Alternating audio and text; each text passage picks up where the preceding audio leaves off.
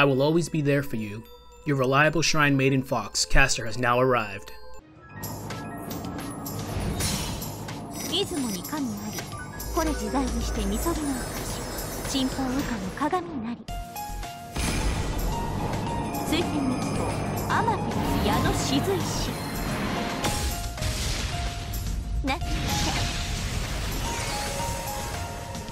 Welcome back.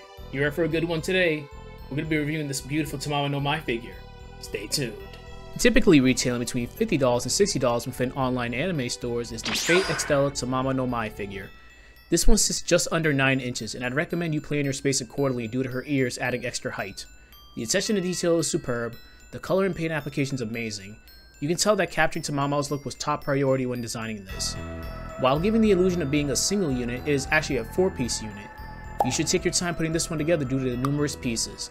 The pieces may take some time getting in due to the small mounting points, but it shouldn't be that big of an issue if you take your time. This figure makes to a durable base so you shouldn't worry about her coming loose anytime soon.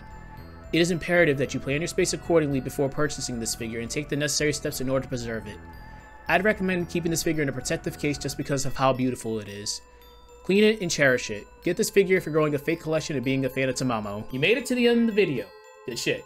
So for the reason why you're here, do I recommend this figure? I do recommend this figure. yeah, boy. This will make a fine addition to anybody's Fate collection, and if you're a fan of Tamamo, this is a must. But there's a couple things to note. There's a lot of parts to this figure. There's her arms, there's her piece right here, and there's her tail. Make sure those are in snugly. They can come loose very, very fast if you're gonna move this. Another thing, this is a $50 to $60 figure, and this was an import. So I'm yet to see this around stateside, so you might have to import this from Japan, just so you know. Hey, yo, what the fuck? Another thing, make sure you take accountability for your space. These ears add extra height to this. As you can see, this fits over here, but just barely. So without further ado, I do recommend this figure.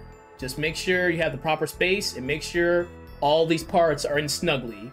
So we meet again, guys. We out. Did you like what you saw in this video? Then be sure to like, comment, and subscribe for no BS anime figure reviews and assembly.